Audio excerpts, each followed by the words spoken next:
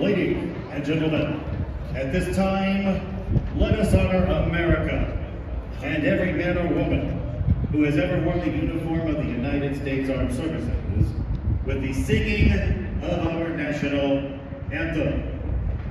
Singing today's anthem, please welcome Erin Gonzalez. Ladies and gentlemen, our national anthem.